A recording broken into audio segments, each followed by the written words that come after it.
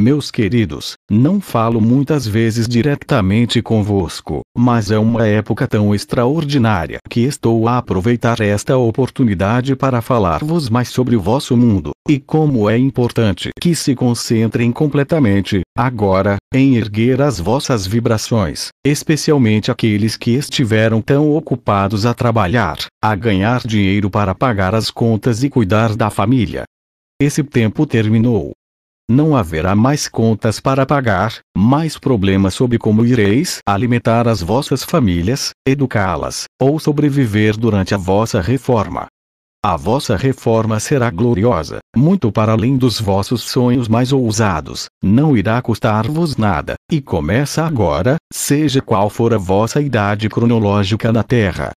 Não será uma reforma, retirada da vida, nem será a morte, Estais agora no limiar de uma viagem magnífica em direção às estrelas. Os vossos irmãos e irmãs estão precisamente à vossa espera. Olhem para o céu numa noite clara. Enviem-lhes saudações e eles irão fazer cintilar as luzes coloridas das suas naves para mostrar a sua felicidade, para vocês os verem, e em breve estarão aqui convosco, a caminhar entre vós, a abraçar-vos, a cantar hinos de celebrações convosco. Agora há milhares deles ao longo das linhas da rede, que traz a energia do cosmos, para erguer-vos e ensinar-vos o amor e a luz sem fim. Sou eu que estou agora a enviar-vos energias poderosas. Foi dito que as ondas de amor que sentes a envolver-vos, vêm do Sol central, o Sol que irradia do centro do universo. É verdade. O Sol central é mais um dos meus nomes, o vosso Criador primordial. Sou aquele que criou o princípio, o meio e a eternidade, que agora é a vossa realidade.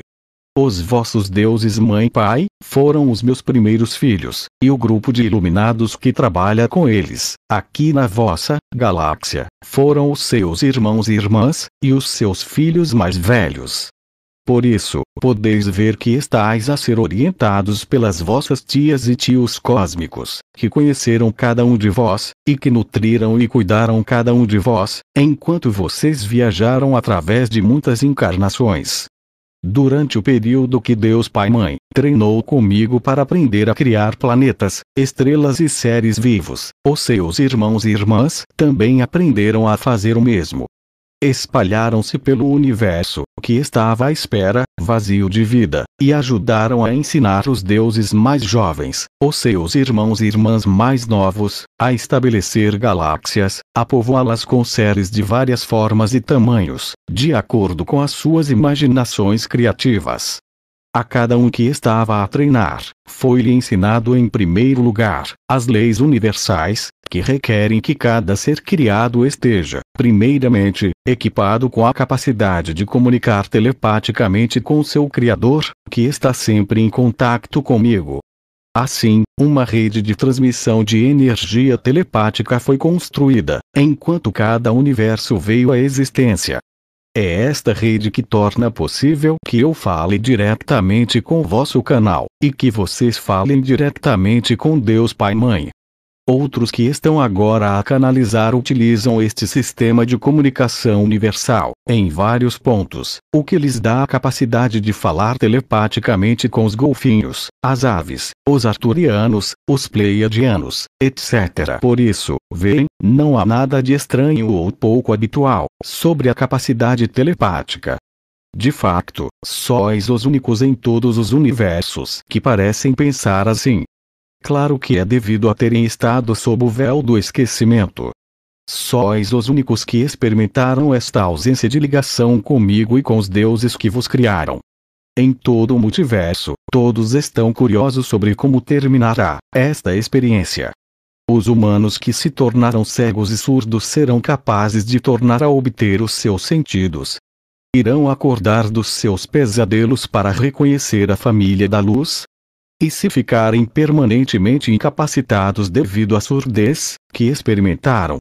Decorreram milhões de anos, de acordo com o tempo da Terra, desde que os humanos tinham seus sentidos intactos. Quando os vossos cientistas estudaram a sequência do DNA, encontraram muitos fios da vossa constituição que pareciam estar inativos, inúteis. Ficaram surpreendidos, mas foram mais longe na sua exploração para compreender que na criação nada é inútil e suspeitaram que não era um erro da natureza, embora poucos estivessem suficientemente abertos a nível espiritual para assumir a verdade. A verdade é que dei, a Deus Pai Mãe, a minha aprovação para começar a usar esses filamentos de DNA, não usados, que irão mudar-vos de uma maneira dramática, a vossa inteligência, memória e criatividade irá aumentar rapidamente. O objetivo final é permitir-vos ser os deuses magníficos, que sois capazes de ser. Finalmente ireis ter o poder de criar, de conhecer a verdade da vossa história e a da vossa galáxia. Mas, primeiro, foi necessário que experimentassem os desafios e obstáculos da vida no corpo da terceira dimensão, com livre arbítrio e com a orientação da vossa mãe e do vosso pai. Sofreram a dor física e o trauma emocional, a solidão e a necessidade, e a maioria de vós sobreviveu com os corações ainda intactos ainda sois capazes de amar, e quando estáis em sofrimento, procurais a luz para a vossa salvação. Foi o último teste, e suportaram-no de maneira brilhante. Sim, muitos de vos ainda duvidam, insistindo ainda que não acreditam em nada disto, mas a pequena janela aberta nos seus corações irá permitir a verdade fluir, logo que as preocupações com os resultados do vosso dia a dia sejam afastadas da vossa vida. Foram testados tão duramente até o grande plano requerer, finalmente, a vossa liderança de todas as galáxias experimentaram várias formas de governo no vosso planeta, e intuitivamente, compreenderam em todo o globo, que a democracia com a participação de todos os povos é, na verdade, o sistema mais eficiente e justo. Sempre que foi experimentada uma nova tentativa para estabelecer a liberdade, ela foi cerceada pelos que pertencem às trevas. Mesmo nos Estados Unidos, a grande experiência foi deturpada e transformada num sistema econômico despótico que ocupou o lugar da liberdade genuína e mesmo assim, o povo ansiava pela verdade. A agitação em todo o planeta é um trunfo glorioso da imaginação. Em toda a parte a humanidade está a erguer-se a exigir a liberdade, igualdade e dignidade. Dizem para si próprios, nunca mais muitos ainda não compreenderam completamente, porque é que estão a sublevar-se. Muitos pensam que é pela liberdade religiosa, outros temem o caos que a mudança completa irá trazer, mas a marcha para as novas maneiras de cooperar e para as novas maneiras de comunicar, confirmaram as suas esperanças no futuro em que reina a verdade.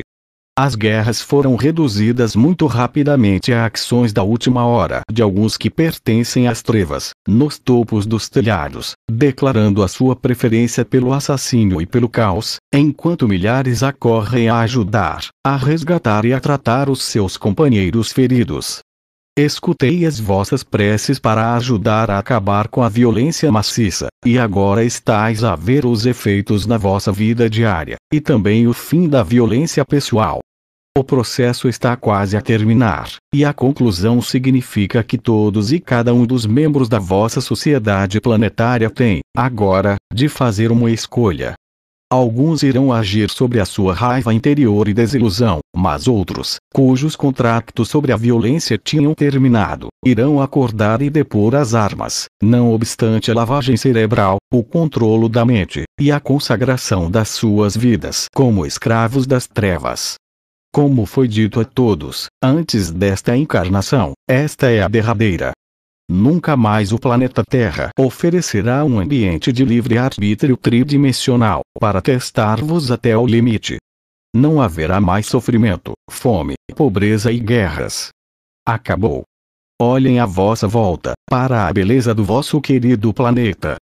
Saiam das cidades para ver como devia ser e como era antes das indústrias e do crescimento maciço da população se ter instalado nas florestas densas, nos lagos claros e nos oceanos poderosos.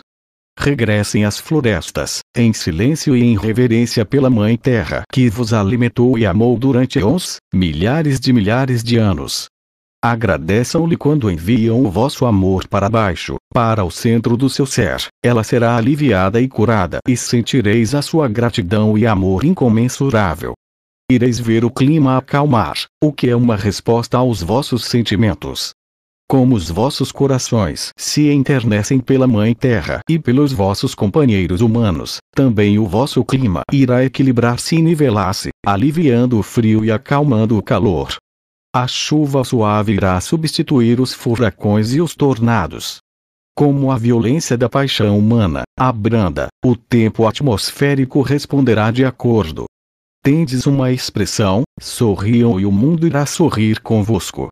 Prolonguem esta compreensão ao vosso relacionamento com a Mãe Terra e a todos os seus seres conscientes, que inclui todos os insectos, todas as rochas, todas as plantas e todos os animais ao seu cuidado. Fiquem em paz, queridos. O tempo do vosso teste pessoal acabou. Agora é-vos dado um tempo para descansar, para contemplar e para restaurar a paz de espírito. O vosso julgamento acabou, e foram todos declarados inocentes, puros e gloriosos. Unos, com o vosso Criador. Não importa quantos passos em falso possam ter experimentado nesta vida, ela é a acumulação de todas as outras vidas, todas as vezes que triunfaram sobre o desespero, exprimiram amor por outro ou por vós, que nós vemos como uma medida da vossa força. Sejam agora esse ser amoroso. Olhem à vossa volta para os que darão as boas-vindas ao vosso amor, e exprimam-no livremente. Não importa que saibam o vosso nome, ou vivam no vosso lar, todos irão dar as boas-vindas à vossa vibração mais alta de amor e luz. Juntos, vocês têm trabalhado, rezado e suplicado comigo para permitir agora a vossa gloriosa ascensão, nesta vida, nesta hora. Estou aqui para dizer-vos, agora, que está concedida.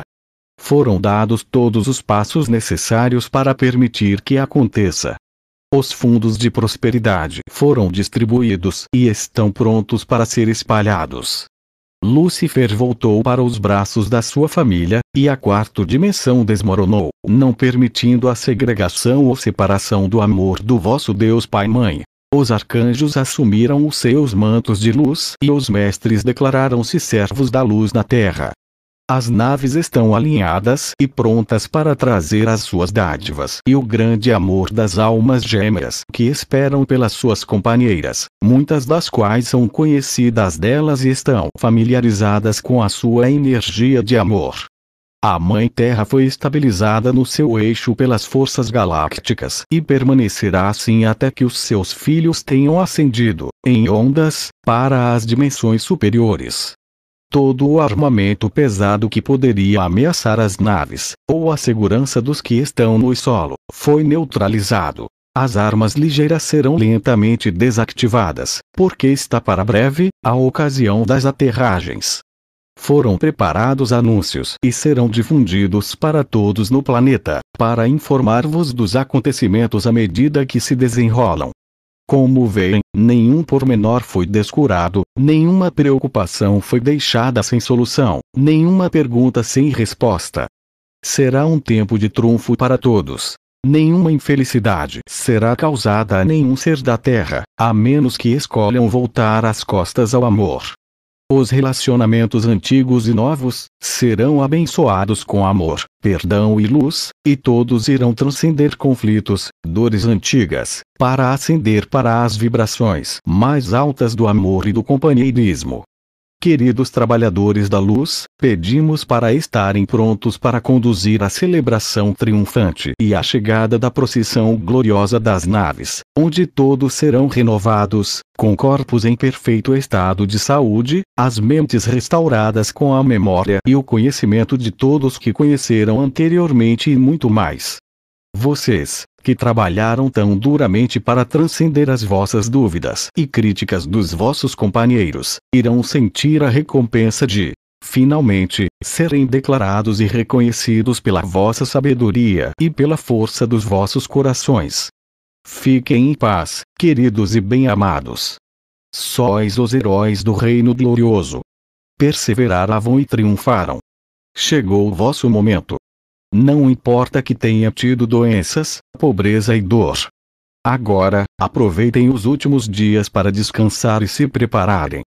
Abram os vossos corações ao meu amor sem fim que tudo cura. Rezem silenciosamente por todos os que necessitam da vossa confiança e força para completar as suas transições. Não posso descrever a alegria que sinto ao ver estas realizações finais a surgir. É verdadeiramente o princípio do fim, como diz o Deus Pai. Preparem-se para o novo começo em alegria e com fé. Eu sou o vosso Criador, o Criador de todos os Criadores, e envio-vos as mais poderosas ondas de amor que jamais sentiram. Aconchego-vos a mim, os filhos do meu coração, e envio-vos amor sem limites, até que nos encontremos novamente.